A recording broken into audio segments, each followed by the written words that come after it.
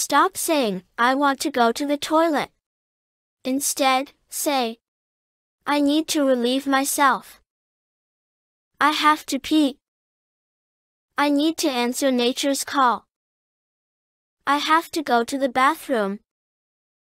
I need to spend a penny. I need to take a bathroom break. Stop saying I don't know. In business settings, it makes your English sound too basic. Instead, use these five alternatives. I'm not entirely sure.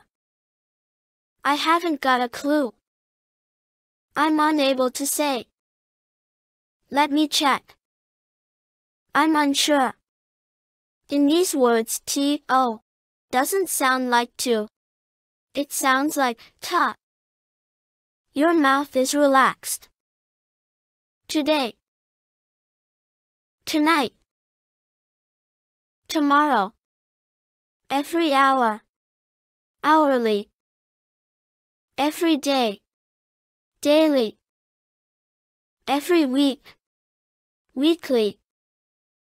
Every month. Monthly. Every year. Annually.